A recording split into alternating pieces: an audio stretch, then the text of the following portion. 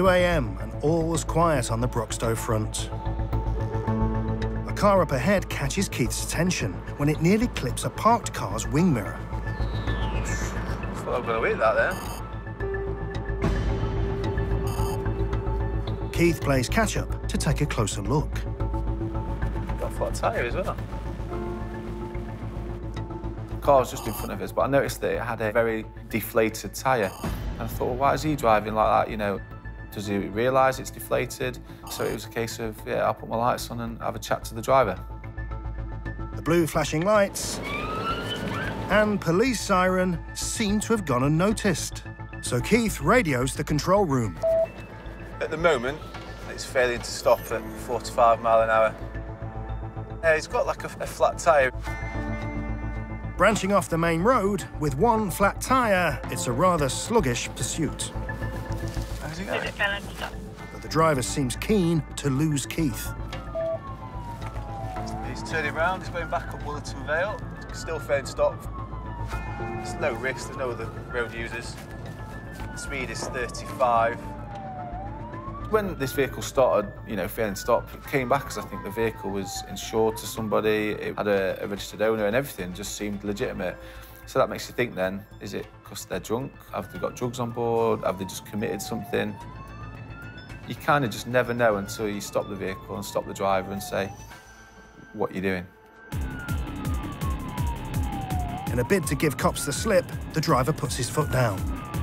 It's up in the speed to 7-0, headed towards Bloom Woods. Now the dodgy driver's burning rubber. Literally.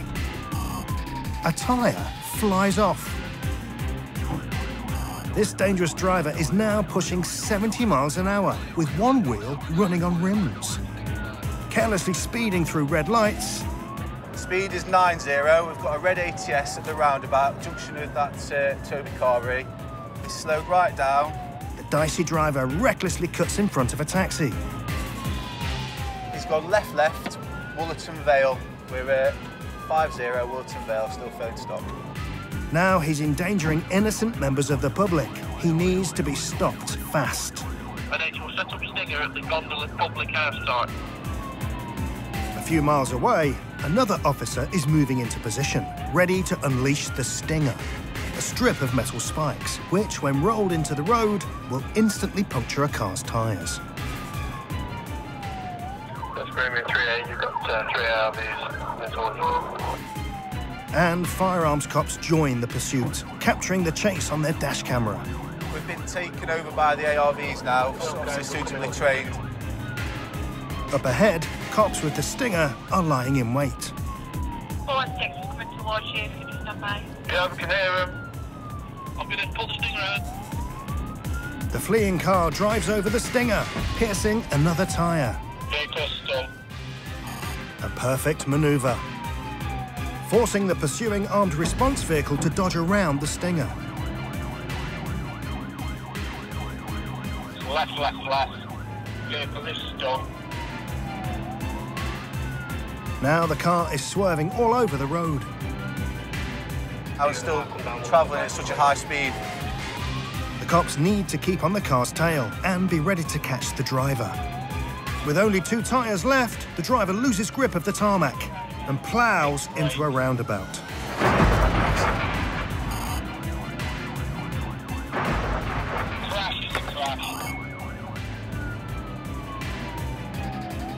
Against all odds, the driver makes a run for it and leaps straight over an eight-foot fence. But Broxtowe's finest is determined to stop him. Keith hot-foots it to the front of the house, where he expects the runner to emerge. We've got one runner and it's, it's got a grey hoodie on, uh, black trousers. He's jumped straight over a fence. Things lane as well. Yeah, just city hospital. We are some distance, but we'll head that way. Where's he gone? Have you seen anyone run through here?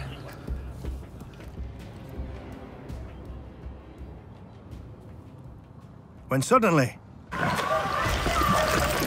Keith hears a commotion in gardens nearby.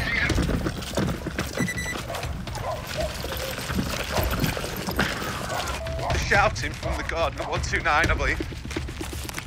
Where are you? Keith can't get an answer from the dog handler. Where are you? Are you all right? You can run, but you can't hide from the body cam squad. Are you Somebody? Will you check my arm, please? You all right? It bit my arm, man. All right, mate. With Quantum on the case, there's no solace for the runaway driver. Oh, will you check my arm, please? He'd been bit by the police dog. That's because he was sat down hiding. They found him, told him to stay where he was, and he didn't. He stood up again and come walking towards the, you know, the dog officers, and uh, unfortunately got a little nip to his arm for, for his troubles. All right, you're under arrest, all right, you know that, don't you? For uh, driving dangerously, failing to stop. Do you have to say anything? Put your mate face, you know, my son, something's like a cut, you stay again, it's all right. An update from control gives Keith a clue as to why the driver wanted to make a getaway. He's got provisional licence and his last offence was February last year, uh, driving whilst disqualified. See, but he's not disqual now. Just a provisional. Negative penalty out. Right, mate. Also arrested for driving one other than course with a licence, no insurance. All right, mate. Sound. The driver's taken to custody with his tail between his legs. I think that the male who was driving is lucky driving at that speed, crashing and getting out without any injuries. He was hitting speeds of like 90, 100 mile an hour on, you know, luckily they weren't busy roads. Uh, and as you can see by the marks on the floor, he's got some airtime because I see it. He's jumped like the car has literally flipped up the curb and go up and landed. We've, you know, got him off the roads and he, he has been a disqualified driver in the past. All in all, this is a bang-on result, really. there you go, Nick. Everyone's that way.